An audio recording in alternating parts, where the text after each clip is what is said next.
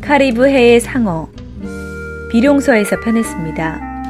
역사, 사회, 과학 동화를 선보이며 사랑받은 마법의 시간 여행 시리즈 53번째 작품입니다. 멕시코 코스멜 섬으로 휴가를 떠난 잭과 애니는 상어와 마야 전사들을 만나는 모험을 겪습니다. 유카탄 반도를 둘러싼 자연과 바닷속 생물, 마야 문명 등에 관한 지식도 얻게 됩니다.